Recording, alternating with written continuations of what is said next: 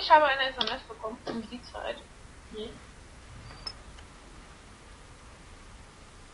Hm. Mhm, mhm.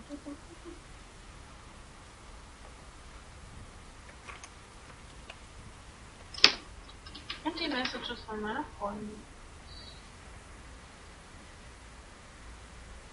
Mhm. Ja. Äh, Magst du uns Messages von deiner Freundin vorlesen? Nein, das sind Privatmessages, die werde ich euch bestimmt nicht vorlesen. Besonders weil es sehr heikel ist, das Thema, was sie gerade schreibt.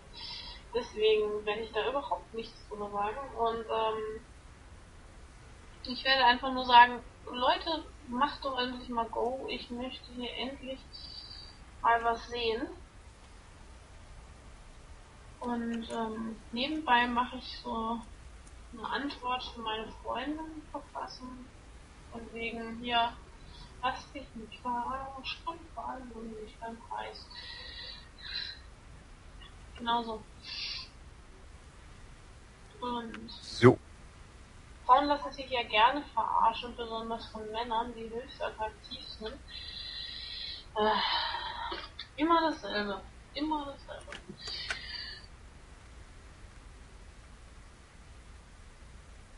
So. Äh, Debbie. Debbie. Go. Ja, wir warten nur noch auf ein Ready von Jared und dann können wir auch sofort loslegen. Da ist es. Was ist das denn? Da freue ich mich ja drauf. Auch wenn wir immer noch keinen Sack gesehen haben. Ja, traurig, aber wahr. In der Tat. Aber vielleicht sehen wir noch mal einen Cirque und wenn, wenn, wenn ich ganz viel Lust habe und der Wein in meinem, beziehungsweise der Alkohol in meinem Blut ein bisschen nachgelassen hat, vielleicht lasse ich mich ja breitschlagen. Aber nur vielleicht. Ich hätte auch schon einen Gegner für dich. Oh mein Gott, wen? Äh, Das, äh, ich weiß den Namen gerade nicht. Ich hatte gerade ein Profil gesehen, das äh, wäre entsprechend. Das wäre super. Und mich schreiben gerade auch schon zwei Leute an, dass sie Zerg sind, die mich gerade beide schon angeschrieben haben, dass sie gerne zocken würden.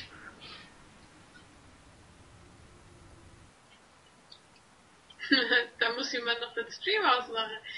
Ja, das äh, wäre vorteilhaft. Ja, ist immer vorteilhaft, den Stream auszumachen. Gut.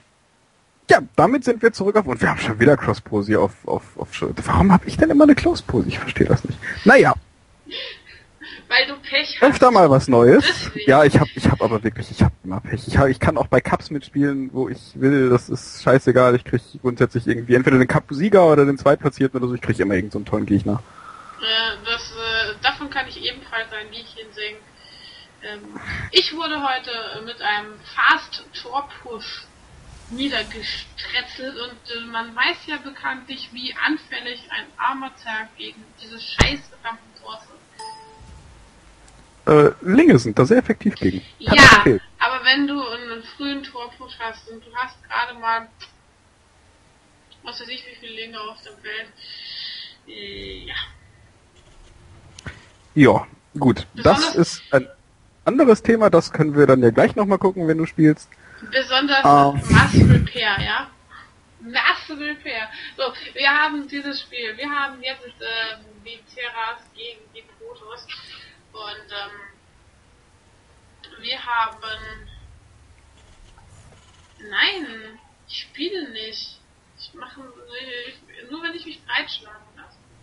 Das werde ich Ja, erstmal da arbeiten wir noch dran, dass wir dich schlagen, äh, also breitschlagen. Und Nein, äh, ich ich hoffe doch sehr, dass das noch dazu kommt. Nein, ich glaube, ich bin zu müde. Wir machen dann noch die Funmap und dann werde ich wahrscheinlich den Stream ausmachen, weil ich müde bin. Gut, das ist, das klingt nach einem Plan. Weil der Alkohol wirkt langsam, beziehungsweise wirkt langsam nicht mehr und macht mich sehr, sehr müde. Ähm, da gibt's Mittel gegen. hm, Aber das willst du nicht hören. was denn? Weiter trinken. Sicher, ne? Oder jetzt auch einfach mal ein Sekt. Äh, ich habe keinen Sekt mehr. auf. Ich, das der, ist schlecht. der ist gestern alles draufgegangen. Ja, ja gut, dann, äh, ja gut, eig eigentlich, was heißt ja, oh, das ist eigentlich nicht anders zu erwarten. Nein, ich habe nur noch Wein, den habe ich geschenkt bekommen und deswegen trinke ich ihn halt. Ja. Wobei noch äh, sehr viel drin ist, muss ich dazu sagen.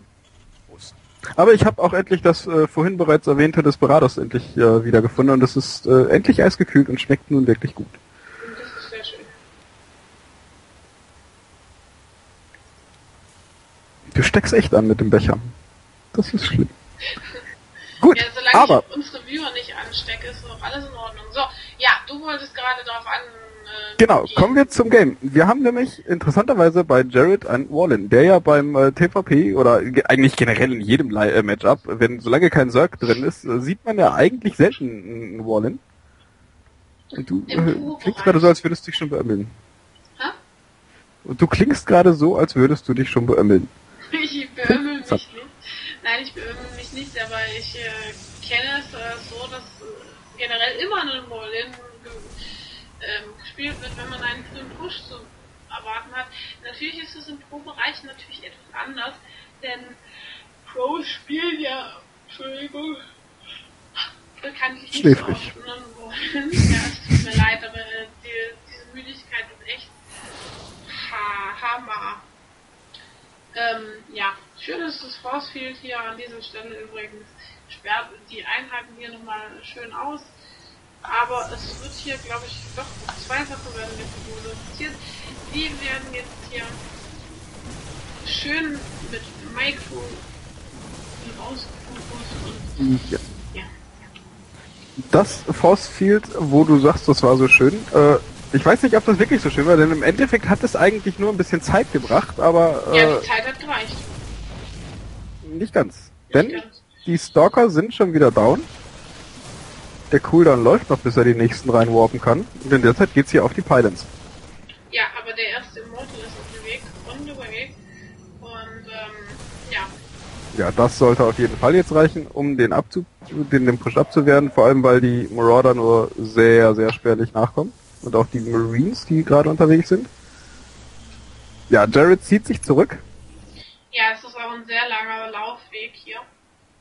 Also, da kann man nicht so einfach Druck aufrechthalten.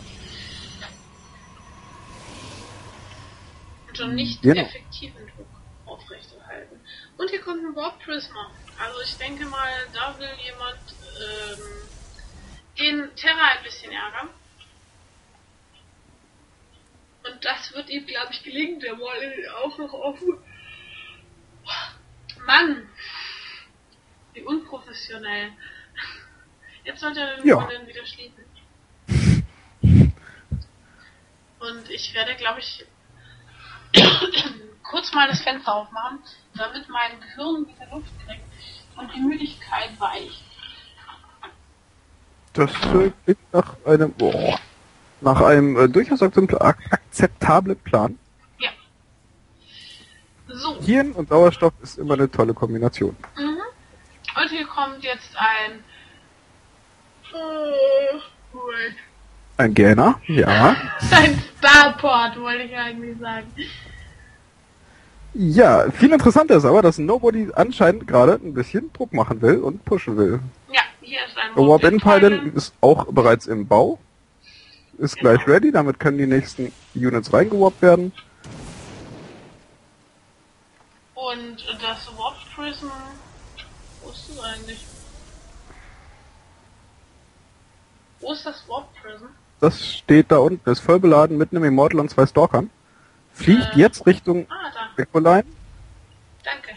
Das habe ich gesucht. Ja. Ja, da ist ja. es. Und ähm, wird jetzt hier. Vorne kommt vielleicht droppen. Vorne ein Clash.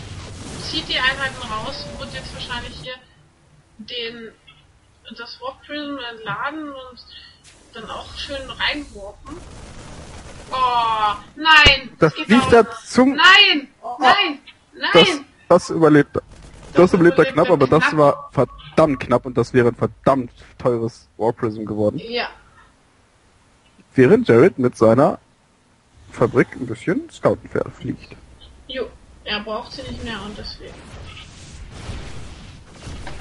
Ihr könntet das Warp Prism jetzt aufklappen und reinwarpen. Was aber nicht so, der wird jetzt die Destructive Rocks kaputt machen und sich dann auch so schnell wie möglich wieder aus dem Staub machen.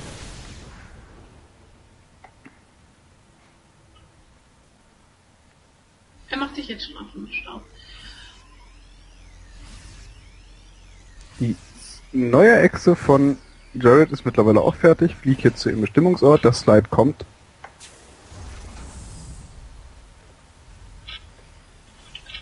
Und äh, Devlin ist nicht dicht, äh, das macht aber nichts, denn ihr braucht die nicht wirklich, die Verengung reicht ihm, denke ich mal, völlig. Und da kommt die Fabrik und wird hier schön von den Stalkern beschossen. Die natürlich verhindern wollen, dass er hier genug Scouting-Informationen mitkriegt, um zu wissen, was der Gegner macht. Und da fällt die Fabrik auch, aber er hat genug gesehen anscheinend, um diesen Go hier zu machen, den Ja, Jared jetzt hier anzettelt. Hm? Er hat auf jeden Fall gesehen, dass Nobody nicht allzu viel hat und dass er das, das damit durchaus aufnehmen kann mit seinem Marine Marauder. Ich bin gespannt. Ja, Nobody warp weiter Stalker rein. Nächste Kolossi ist auch im Bau. Die, gut, die Echse, klar, hat er noch rechtzeitig abbrechen können, konnte er sich jetzt auch knicken. Die wäre auf jeden Fall wieder weg gewesen. Ja, Der sollte sich aber auch auf jeden Fall noch Zeit verschaffen können. Der hat genug Sentries mit äh, Force Fields, mit genug Energie für auf jeden Fall massig Force Fields. ich verstehe gerade nicht, was Jared da macht. Aber es ist Ich ein. Ghost, Ghost, ein Ghost ist dabei. Herbe. Ja, natürlich. Die EMP wird da gleich richtig dick für äh, reduzierte Schilde sorgen. Ich verstehe gerade nicht, was er tut. Ganz im Ernst nicht. Aber Du weißt doch, zwischen Wahnsinn und Brillanz liegt äh, meistens nur äh, ein äh, kleiner Unterschied. ja, aber Nobody hat sich hier jetzt seine Einheiten nach draußen geholt und wird jetzt hier seine Eco äh, Exe Exe verteidigen. Hi! Mensch! Die Luft Ja. wird knapp und ähm, ja, Kira ist müde. Kira möchte Ja. gleich ins Bett gehen. Aber Kira macht das hier noch fertig und danach geht es ins Bett. Beziehungsweise danach gibt es noch eine Funmap und dann geht es ins Bett. Denn die Funmap habe ich gesagt, die machen wir noch und äh, Und ich halte bin ganz ehrlich gespannt, was du gleich noch zocken willst. Ja, Und worauf du dich schon so freust, dass Ja, du ich- selbst deine Möglichkeit dafür jetzt noch verdrängst. ja, gell. Macht Ja. ein bisschen Angst. Warum? Und Jared baut weiter SCVs und äh, schickt sie aber nicht, Hat- wie man jetzt erwarten würde, in seine Eco-Line, sondern schickt sie zu seiner Armee. Und, Armee. und er hat ähm, die nächste Ex an Bord. Gut, jetzt hat er es gemerkt, er schickt sie doch in die Eco-Line. Und er hat die nächste Ex an Bord. Das äh, sollte er auch tun. Denn er hat seine Echse bereits gerade mit massig SCVs überflutet. Und er hat, ähm, er wird gleich, denke ich mal, merken, dass hier der Gegner durch die Destructible Rocks versucht, ein Go zu machen. Denn er hat hier jetzt diese Destructible Rocks kaputt gemacht und geht jetzt hier durch die ähm, Echse, Smiley-Echse, ich nenne sie einfach nur Smiley-Echse, weil sie aussieht wie ein Smiley, ähm, und äh, geht jetzt hier rein und äh, der Go, den hier, der hier jetzt geplant wurde von Jeremy, äh, Jeremy, der muss zurückziehen, denn er hat gesehen, dass hier die Stalker reinkamen und machen hier jetzt hier schon ein paar schöne Supply-Dings Das heißt, er ist erstmal Supply-Lock und kann erstmal gar nichts machen. Er entscheidet sich jetzt doch für den Gegen-Go, obwohl hier die Einheiten in seiner Base so viel Damage machen und ich denke mal, das wird er auf jeden Fall schaffen. Und er nimmt auch so gut wie sämtliche SCVs mit. Ja, das ist Will also jetzt definitiv Finish machen. Ja. Das ist auf jeden Das Fall. wird auf einem Base Trail hinauslaufen.